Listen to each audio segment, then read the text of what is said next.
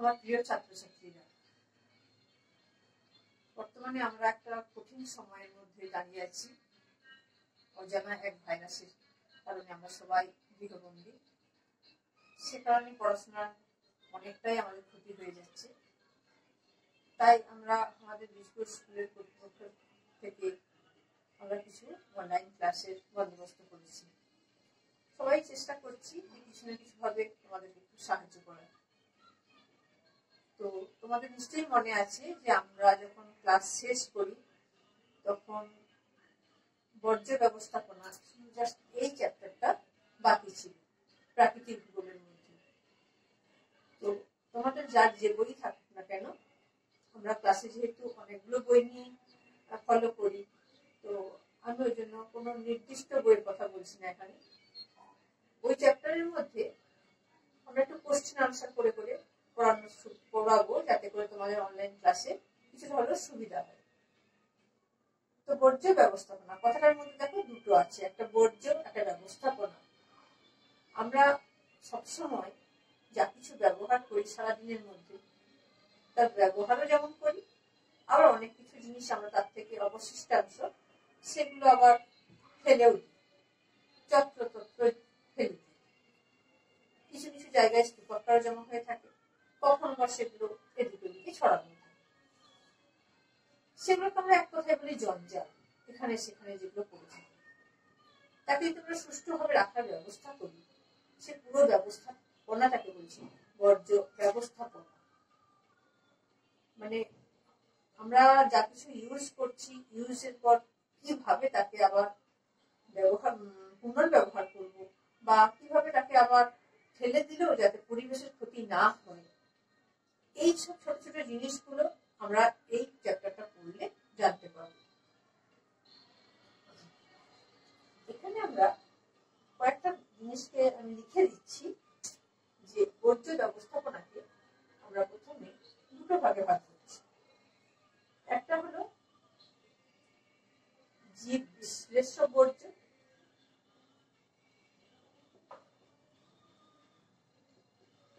আর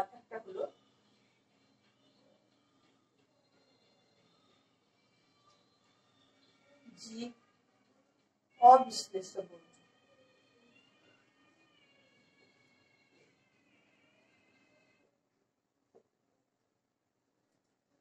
জীব বিশ্লেষ্য বর্জ্য বলি। না, যে বর্জ্য পদার্থগুলো পরিবেশের মধ্যে অতি সহজে মিশে যায়, আণুবীক্ষণিক ব্যাকটেরিয়া দ্বারা বা যে কোনো ভাবেই হোক এটা পরিবেশের মধ্যে মিশে যায়। আমাদের কোনো ক্ষতির সম্মুখীন হতে হয় না। সেটা হচ্ছে জীব বিশ্লেষণ।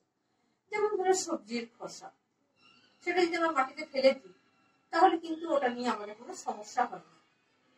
আবার যে জীব অবিশ্লেষ পদার্থগুলি যেগুলো যেমন ধরো আমাদের যে বাল্ব বাল্ব জ্বলছে।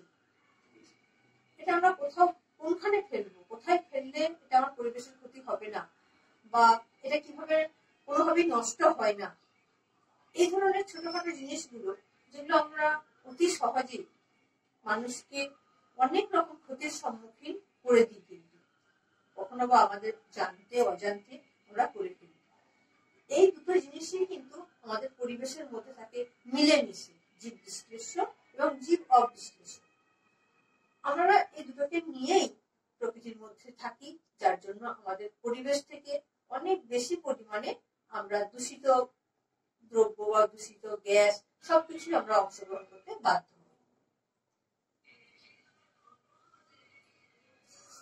এবার তোমাদেরকে একটা কথা বলছি। আমরা সবার আগে কোথায় থাকি না নিজের নিজের বাড়িতে? সেই বাড়ির মধ্যে আমরা কোন কোন ধরনের বর্জ্য পদার্থগুলোকে দেখতে পাই? অর্থাৎ তুমি সবচেয়ে বেশি বুঝতে পারবে নিজের বাড়ির চারিপাশটা, নিজের বাড়ি, বাড়ির বাগান, সামনের অংশ, এগুলোকে যদি আমরা লক্ষ্য করি, তাহলে ভাববো যে কোথায় কোথায় কোন জিনিসটা ফেললে আমরা ঠিকভাবে বর্জ্যটাকে ইউটিলাইজ করতে পারব। আরেকটা দিক হলো, বর্জ্য পদার্থগুলো যেগুলো ফেলছি, সেগুলো কয় রকমের? অর্থাৎ কি কি ধরনের? সেইভাবে আমরা বর্জ্য পদার্থগুলোকে ভাগ করছি। আমি একটু লিখে দিচ্ছি তোমাদেরকে।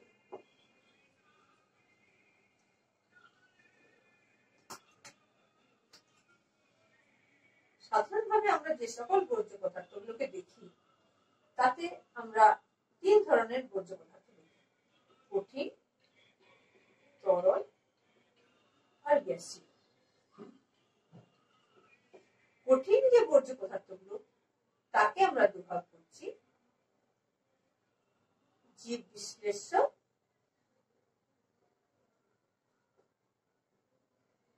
আর জীব অবিশ্লেষ্য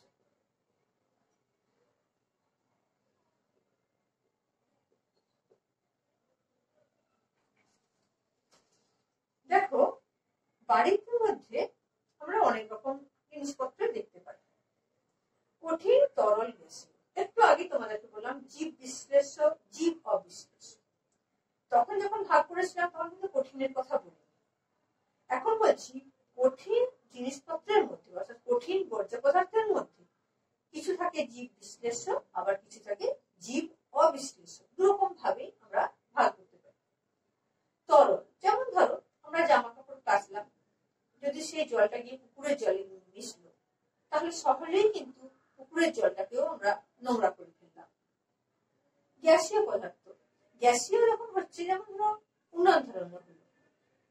বা অনেক সময় আজকাল যেটা খুব বেশি ভাবে হচ্ছে, ধান কাটার পরে আমরা সেই ধান কাটার যে অংশগুলো পড়ে থাকছে, সেগুলোকে আমরা একসাথে না করে সেখানে গিয়ে আগুন লাগিয়ে দিচ্ছি। এর ফলেও গ্যাসীয় পদার্থ তোমরা পাবে উন্নয়ন ধরানো হলো, সেখানেও গ্যাসীয় পদার্থ হলো। বা চিমনি দিয়ে ধোয়া বেরোচ্ছে, সেটাও গ্যাসীয় পদার্থের একটা বর্জ্য পদার্থ। এইভাবে আমরা ভ্যারাইটিস টাইপের অর্থাৎ তিন রকম, যত রকমই বের হোক, যত রকম গ্যাসীয়, যত রকম বর্জ্য পদার্থই আসুক না কেন, তাকে আমরা তিনটি ভাগে ভাগ করতে পারব। কঠিন, তরল, গ্যাসীয়। কঠিনের মধ্যে দুটো ভাগ বললাম, জীব বিশ্লেষ্য জীব অবিশ্লেষ্য জীব বিশ্লেষ্য জীব অবিশ্লেষ্য একসাথেই পরিবেশের মধ্যে থাকে। যার জন্য আমাদের ক্ষতিটা হয় সবচেয়ে বেশি। আমরা এটাকে সঠিকভাবে ইউটিলাইজ করতে পারি না, কারণ আমাদের এখানে সেরকম ভাবে পরিকাঠামো তৈরি হয়নি আমাদের দেশে এখনও পর্যন্ত, যে একেবারে আমরা তিনটে জিনিসকে আলাদা আলাদা ভাবে আমরা রাখব বর্জ্য পদার্থ যেটাকে বলে পৃথকীকরণ সেই ব্যবস্থাটা কিছু কিছু ক্ষেত্রে হলেও সর্বত্র সেইভাবে এখনও আসেনি। এরপরে আমরা চলে যাচ্ছি বর্জ্যের উৎস।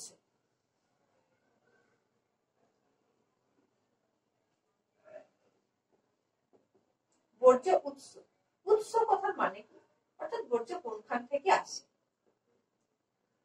কোনখান থেকে আসে বলতে? বর্জ্য কি আর পৃথিবীর বাইরে থেকে আসে? তা তো নয়। আমরাই উৎপন্ন করি, আমরাই সৃষ্টি করি। কিন্তু এটা বলতে চাইছে কোন জায়গা থেকে আসছে?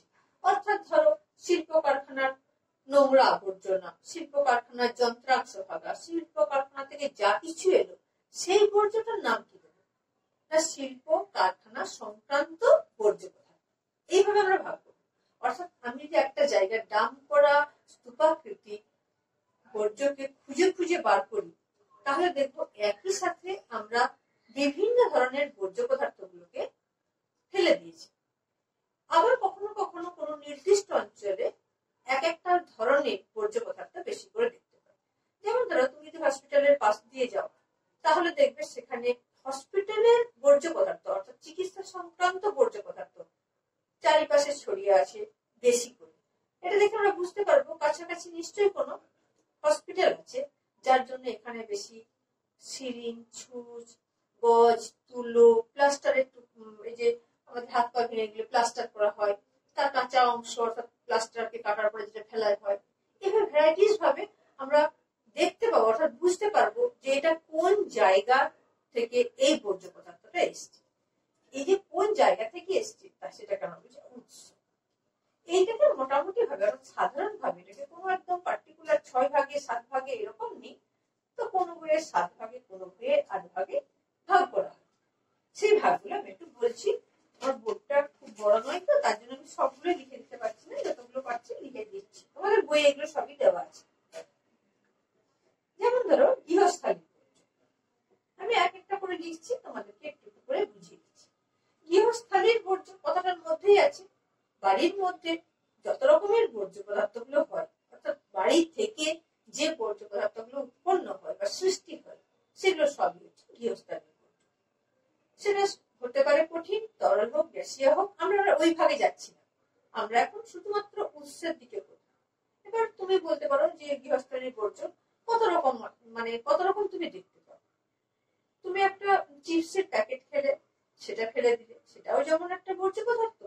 আবার তরকারির খোসাকে চিপসের প্যাকেটের সাথে যদি ফেলো, তাহলে কিন্তু সেটাও বর্জ্য পদার্থই হয়ে গেল। অর্থাৎ সেটা আমরা আলাদা করলাম না বলে সবই মিলেমিশে একাকার হয়ে গেল এই ক্ষেত্রে আমরা বলি পরে যেটা, যে আমরা যদি দুটোকে আলাদা করে দিতাম, চিপসের প্যাকেটটাকে আর সবজির খোসাটা তাহলে কিন্তু সবজির খোসাটা মাটির সাথে মিশে যেত, আর চিপস প্যাকেটটা মিশতো না। এটা তো আমাদের সুবিধা হতো পরিবেশের ক্ষেত্রে। তা আমরা সেটা করি না, আমরা একই সাথে ফেলে দিই। সব একসাথে ফেলা জিনিসগুলোকে বলা হচ্ছে গৃহস্থলী তারপরে বলছি, শিল্পজাত বর্জ্য। প্রতিটা পয়েন্টে আমরা যে কথাটা ফার্স্টে লিখছি, তার মধ্যেই আমরা বুঝতে পারব যে কি থেকে বর্জ্য পদার্থটা আসছে। শিল্পজাত বর্জ্য তার মানে শিল্পের সঙ্গে সংক্রান্ত যে সকল জিনিসগুলো শিল্পের কাছে জড়িত বা আনুষঙ্গিক জিনিস ব্যবহার করা হয়, ব্যবহার করার পরে আবার কিছু ফেলেও দেওয়া হয়, যত রকম ভাবে শিল্প থেকে আসে, সেগুলো সবই শিল্পজাত বর্জ্য মধ্যে পড়ে আমরা সাধারণভাবে কি দেখতে পাই? শিল্পের পাশ দিয়ে গেলে প্রচুর কালো ধোঁয়া। চারিপাশের পরিবেশটা একটু অস্বাস্থ্যকর টাইপের লাগে যেন।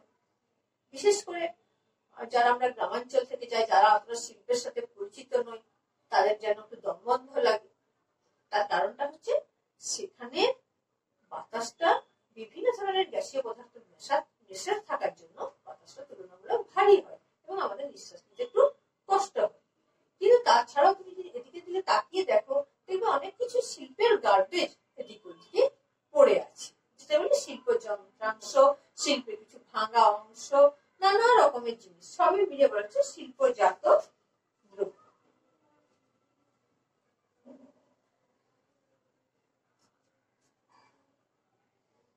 তারপর হচ্ছে কৃষিজ কৃষিজ দ্রব্য মানে হচ্ছে কৃষি থেকে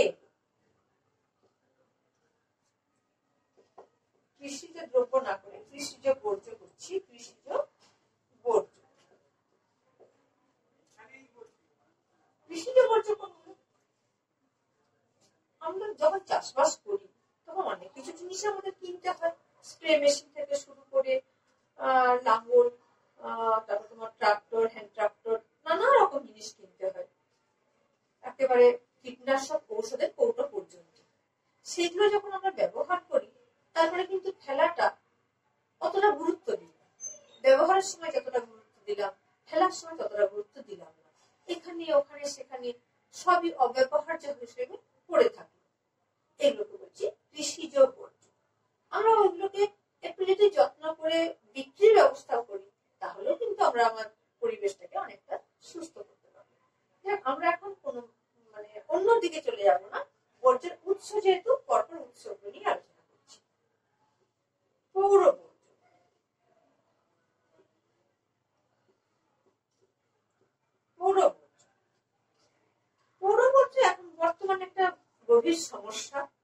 কারণ পৌর এলাকাতে বেড়ে যাওয়ার জন্য পৌর বর্জ্য অনেক অনেক বেশি ভাবে বেড়ে গেছে।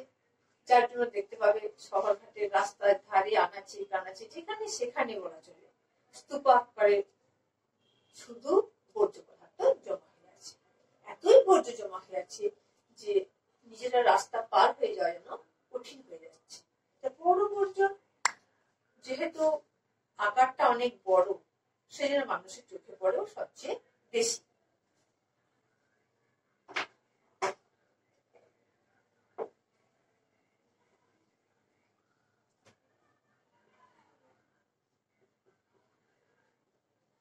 চিকিৎসা সংক্রান্ত বর্জ্য চিকিৎসা সংক্রান্ত বর্জ্য একটু আগে যেটা বললাম, যে চিকিৎসা করতে গেলে আমাদের যে সকল বর্জ্য পদার্থগুলো হয়, যেমন ধরো বিভিন্ন ইঞ্জেকশনের সিরিঞ্জ গজ, তুলো ব্যান্ডেজ থেকে শুরু করে স্যালাইনের বোতল ক্যাথিড্রাল আরও নানা রকমের যে ব্যবহৃত জিনিসপত্র, যেগুলো আমাদের স্বাস্থ্যের পক্ষে প্রচণ্ড ক্ষতিকর, সেগুলো আমরা দেখতে পাই যেখানে হসপিটাল আছে, যেখানে নার্সিং হোম আছে এরকম জায়গাতে জায়গাতে প্রচুর ভাবে লক্ষ্য করি। আমরা সেগুলো থেকে কিন্তু নিজেদেরকে অনেকখানি বাঁচিয়ে রাখার চেষ্টা করি, যেন নিজের শরীর ঠিক থাকে, কিন্তু কোনোভাবে সেটা সম্ভব নয়, কারণ তা সেটা আস্তে আস্তে পরিবেশের সাথে মিশে যাচ্ছে। এই দূষিত পদার্থগুলো পরিবেশের সাথে মিশে যাচ্ছে। চিকিৎসা সংক্রান্ত বর্জ্যটাকে আমরা কিছুতেই এড়িয়ে যেতে পারি না। তারপরের পয়েন্ট হচ্ছে খনির সংক্রান্ত খনি এলাকাতে দেখা যায় খনির সংক্রান্ত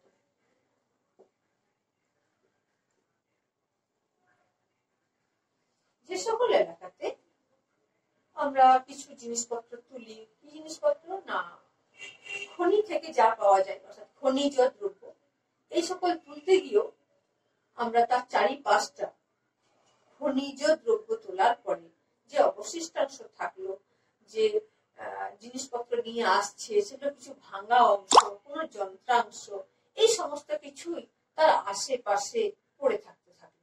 এবং এগুলো সবই এক এক ধরনের বর্জ্যেরই ভাব আবার কখনো কখনো বা এগুলো কোনো একটা জায়গায় নিয়ে এসে ডাম করে রাখা থাকল, সেটাও তোমার দৃশ্য দূষণে পরিণত হয়ে গেল। অর্থাৎ চোখের সামনে প্রচুর তার, সমস্ত কিছু সহ একটা জায়গায় জমা হয়ে রইল তোমার চোখে দেখেও একটা অস্বস্তি লাগবে। তারপরে আছে তেজস্ক্রিয় সংক্রান্ত।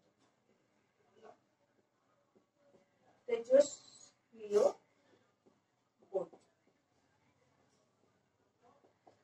তেজস্ক্রিয় বর্জ্য মানে হলো পারমাণবিক বিদ্যুৎ তৈরি করতে গেলে যে সকল খনিজ পদার্থ আমাদেরকে ইউরেনিয়াম, থোরিয়াম আনতে হয়, তারপরে সেটাকে যখন পারমাণবিক বিদ্যুৎ তৈরি করা হলো, তখন যে বর্জ্য পদার্থ নিঃসারিত হয়, সেখান থেকে মানুষের শরীরে পর্যন্ত প্রচুর ক্ষতি করে এবং তার চারিপাশে এই সংক্রান্ত বর্জ্য আমরা পরিলক্ষিত হয় বা দেখতে পাই। আর একটাই আছে, তোমাদেরকে আমি মুখে বলে দিচ্ছি, জৈব বর্জ্য। কিছু কিছু সময় জৈব পদার্থ একসাথে থাকার ফলে তাও পচে বন্ধ করে এক ধরনের বিষাক্ত গ্যাস তৈরি হয়, যেটাও আমাদের খুব ক্ষতি করে বা পরিবেশের ক্ষতি করে। যতগুলো বর্জ্য উৎস বললাম, এই বর্জ্যের উৎসগুলোকে কোনো বইয়ে সাতটি বা কোনো বইয়ে আটটি ভাগে ভাগ করা যায়। এটা পরীক্ষাতে চার নম্বর হিসাবে বেশি আসে বর্জ্যের উৎস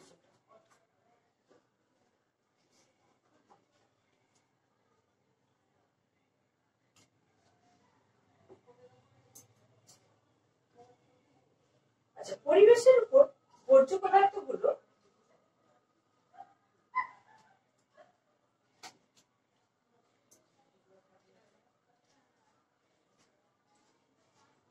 পরিবেশে যখন বর্জ্য পদার্থগুলো এত ধরনেরই আছে, আমরা সেগুলোকে যখন ভাগ করছি, তখন কখনো বা সেটাকে কঠিন তরল গ্যাসীয় আগে ভাগ করলাম, তারপরে বর্জ্যের উৎস হিসেবে ভাগ করলাম। এরপরে আমরা একটা অন্য জায়গায় চলে যাচ্ছি, সেটা হচ্ছে কিছু বর্জ্য পদার্থ আছে, যেটা হচ্ছে জৈব ভঙ্গুর তাহলে আমরা এবার ভঙ্গুরতা অনুযায়ী বর্জ্য পদার্থকে দুই ভাগে ভাগ করব এক হলো জৈব ভঙ্গুর বর্জ্য।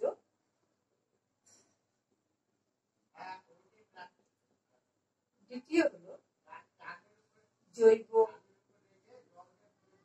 অভঙ্গুর বর্জ্য। কথাটার মধ্যেই দেখতে পাচ্ছ, জৈব ভঙ্গুর, জৈব অভঙ্গুর। জৈব ভঙ্গুর বর্জ্য যে সকল বর্জ্য পদার্থগুলো আণুবীক্ষণিক জীব দ্বারা জটিল যৌগ থেকে সরল যৌগে পরিণত হয় এবং অতি সহজেই মাটির সাথে মিশে যায়, তাদেরকে বলা হয় জৈব ভঙ্গুর বর্জ্য। ঠিক তার উল্টোটা হচ্ছে জৈব অভঙ্গুর বর্জ্য। যে জৈব পদার্থগুলি কোনোভাবে মাটির সাথে মিশে যায় না তাদেরকে বলা হয় জৈব অভঙ্গুর বর্জ্য তাহলে আমরা এখানে জৈব অভঙ্গুর বর্জ্যকে আবার আমাদের এখানে একটু ভাগ করা আছে সেই ভাগটা দেখে নাও প্রথমে আছে বিষাক্ত বর্জ্য দ্বিতীয়ত হচ্ছে পুনর্চক্রী বর্জ্য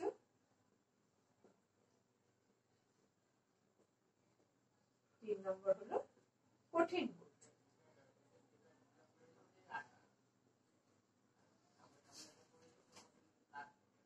বিষাক্ত বর্জ্য কোনগুলো বলছি যেমন ধরো, রং করার সময়, রঙের বোতল, প্লাস্টিকের বোতল ইত্যাদি নানা অব্যবহার্য যে সকল জিনিসগুলো আমরা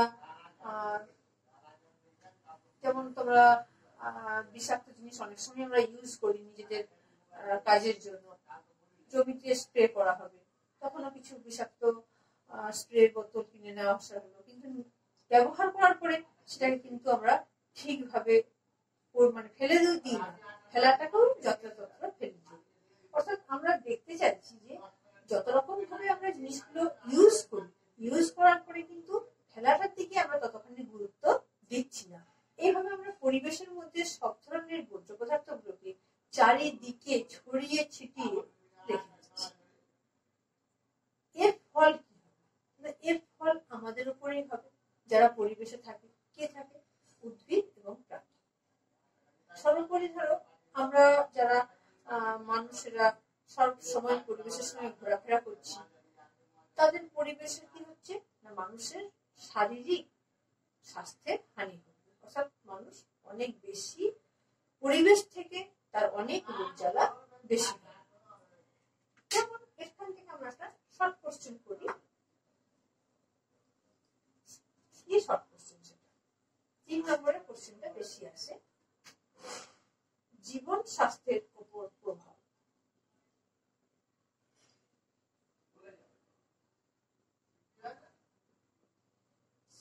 জীবন স্বাস্থ্যের উপর প্রভাব আমাদের অনেক অজানা অচেনা রোগ যেগুলো আস্তে আস্তে আমরা দেখতে পাই। পরে হয়তো বুঝতে পারি যে কি থেকে হলো, কেন হলো। কিন্তু আমরা অনেক রোগী কিন্তু পরিবেশ থেকে আক্রান্ত হয়ে যায়। Jaundice, typhoid, cholera viral fever, তারপর তোমার যেগুলো একটু অল্পতেই আমাদের জ্বর, সর্দি, কাশিও হয়ে থাকে। কোনো বিষাক্ত গ্যাস ভেতরে মুখে প্রবেশ করে গেল, শ্বাসকষ্ট শুরু হয়ে গেল।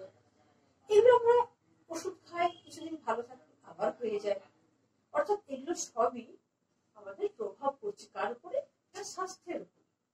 সেই জন্য কোশ্চেনটা হচ্ছে জীবন স্বাস্থ্যের উপরে প্রভাব। না, প্রভাবটা সবটাই কিন্তু ক্ষতিকর। এর মধ্যে আমরা এখানে মূলত সমস্ত রোগ রোগগুলোর নাম ফুসফুসের রোগ থেকে শুরু করে সমস্ত কিছু। এখানে একটু রোগগুলোর নাম বলে দিচ্ছি।